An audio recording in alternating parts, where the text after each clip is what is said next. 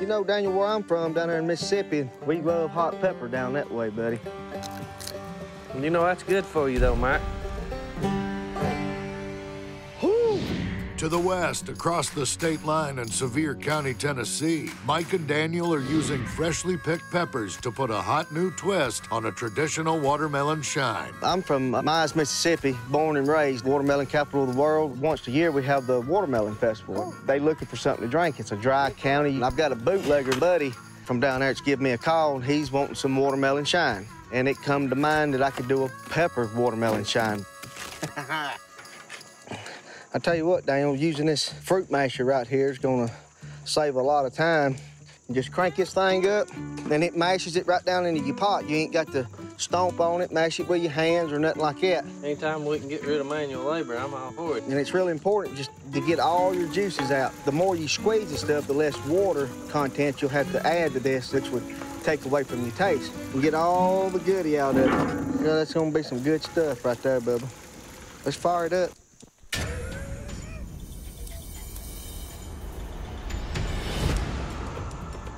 Yeah, buddy. Let's go to cutting up some peppers now.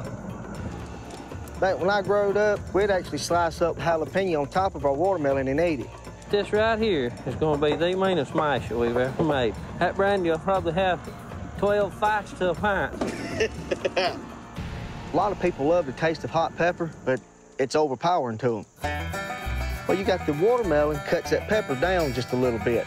Something that'll just warm your mouth, not burn you up, but have that taste blended in together of the pepper and watermelon. Stick your tongue to it. Get you some of that.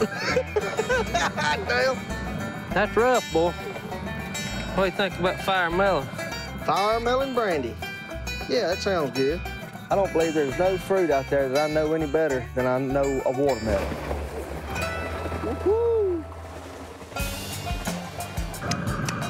That's some good melon sweetness right there, buddy.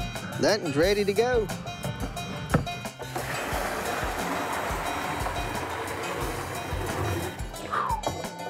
Burn your damn eye. damn, that's hot, buddy.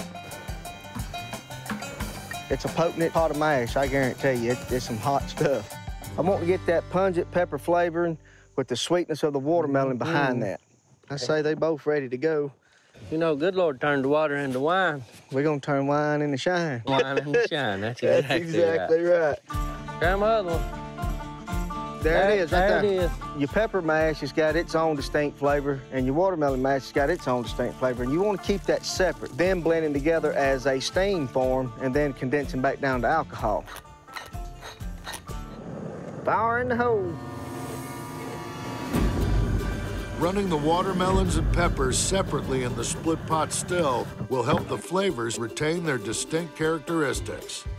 I'm, I'm a little nervous about running it, you know what I mean? Yeah. I'm gonna be on my tiptoes all damn day. I've done watermelon shine before. It's delicious, it's good, but adding something like pepper to it, it's gonna be a unique run of liquor. We got jalapeno, cayenne, serrano. We just got to be careful and blend it just right. I don't say we need a bunch in here, do we? Ah, probably not just a whole lot. You could very well overpower it if you use too much pepper. So I've got to balance that taste out. This right here will help put the watermelon flavor in our liquor. The watermelon complements that pepper because it cuts that pepper down just a little bit. Everything's good and tight. Now let's wait on this thing to run. When I was growing up in Mize, I worked in the watermelon fields every day after school and during the summer. Hell, we eat watermelon three or four times a week, you know, down there in the summertime. It's just nice to bring a little piece of home to the mountains. This first one's getting good and warm. Yeah, it is. It won't be long, we'll have liquor.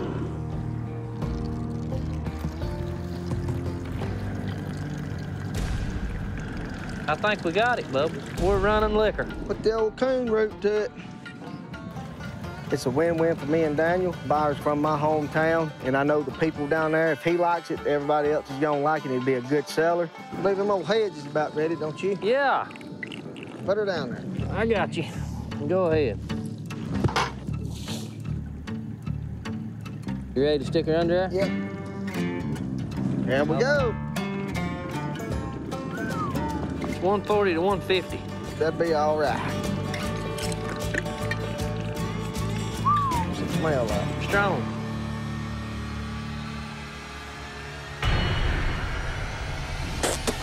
Oh, shit! It's a thousand times hotter than a jalapeno ever thought about being. Heated my head up, my face, my mouth up to the point where it literally just choked me out. Oh, my God. Blistered my lips. Oh! Mm, that's bad. That's just extremely too damn hot to drink. Tasting here right now is just totally undrinkable.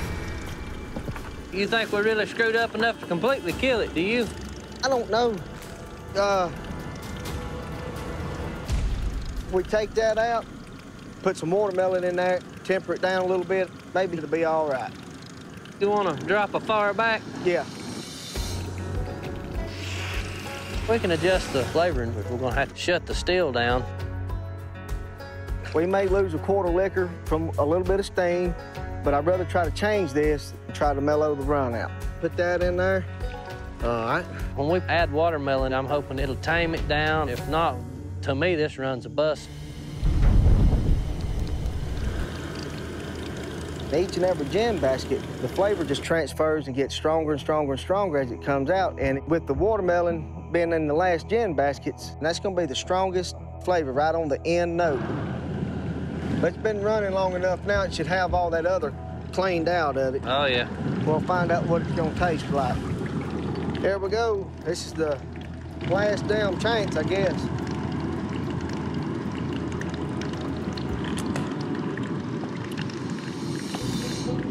That's a lot down better, buddy. So I can taste that watermelon and that cayenne, just that little bit of burn. That's good, ain't it? That was the flavor that I was wanting to bring to the table. You can taste the watermelon, taste the pepper on the backside.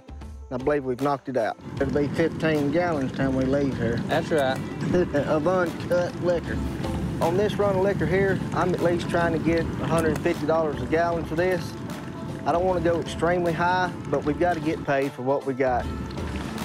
I'm tickled with it, ain't you, old buddy? Yes, sir. I don't know about you, but my world's starting to brighten up. Mine too. Looks like we're getting some sunshine.